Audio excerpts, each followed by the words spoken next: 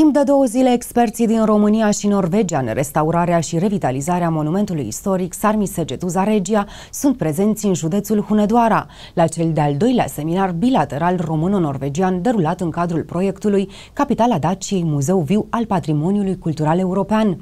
În cadrul întâlnirilor se vor aborda teme legate de administrarea și protejarea monumentelor UNESCO. Se va oferi o privire de ansamblu despre managementul patrimoniului, dar și alte subiecte de interes interes legate de punerea în valoare a patrimoniului istoric și a peisajului cultural. Este o onoare pentru mine să ne vedem din nou la cel de-al doilea seminar organizat la noi, în cadrul proiectului frumosului proiect, aș putea spune, Capitala Daciei, Muzeul Viu al Patrimoniului Cultural European. Consider că acest proiect este un pas semnificativ pentru noi în promovarea istorice de o importanță deosebită pentru România. Este important să subliniem importanța acestui proiect și importanța lui asupra comunității locale de la noi, importanțe istorice și a civilizației dacice. Prin eforturile noastre ale Consiliului Județean, urmărim să redăm autenticitatea acestui proiect și să oferim oportunități de dezvoltare opportunities viitoare generații ale noastre.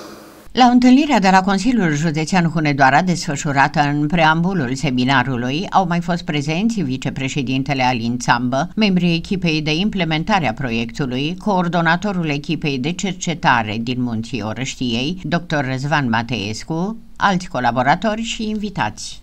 Pentru Consiliul Județean și pentru administrația uh, județeană este un uh, picior important în ceea ce privește punerea în valoare și păstrarea în condiții cât mai bune a vestigiilor pe care noi le-am primit, să zic așa, de la înaintașii noștri și avem o obligație să le predăm într-o stare mai bună decât am primit-o ca să se vadă că am trecut pe aici și că am lăsat ceva în urma noastră. Sarmi Săgetusa Regia este în primul rând unul din cele mai importante branduri ale județului Hunedoara. Uh, atâta timp cât valorizăm Sarmi Săgetusa Regia prin astfel de proiecte nerambursabile, uh, arătăm că avem încredere în acest brand, avem încredere în trecutul județului și că uh, nu încercăm să reinventăm roata, ci bazându-ne și pe trecutul județului, încercăm să creăm viitor comunităților locale. Principalul obiectiv al proiectului constă în consolidarea zidurilor uh, fortificației. Dacă ne referim la dimensiuni, sunt aproape 700 de metri de, uh, de zi, sunt peste 6400 de blocuri de calcar uh, acolo, nu? În partea vizibilă a zidului, trebuie să menționez și lucrul uh, acesta. De aceea vorbeam și despre un efort foarte mare, atât pentru consolidarea zidurilor, pentru că sunt foarte multe provocări, de la cele uh, generate de căderea copacilor, de alunecările de uh, teren. Nu insist asupra lor foarte mult pentru că sunt, uh, sunt cunoscute. Dar noi ne-am lovit în teren de asemenea, nu, am avut de asemenea greutăți în, în teren. Vorbim și despre un efort care s-a dus pentru, care s-a, s-a depus pentru protejarea fiecărui bloc de calcar. Nu? Colegii restauratori, cu foarte, foarte multă migală, pur și simplu încearcă să protejeze pentru foarte multă vreme toate blocurile de calcar de, uh, de acolo. Acesta ar fi obiectivul principal. Nu?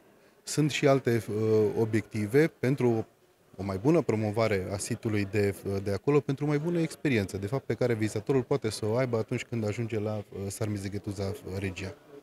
Valoarea nerambursabilă a proiectului, capitala Daciei, Muzeul Viu al Patrimoniului Cultural European, este de circa 2 milioane de euro, iar cofinanțarea asigurată de Consiliul Județean Hunedoara se ridică la aproximativ un milion de euro.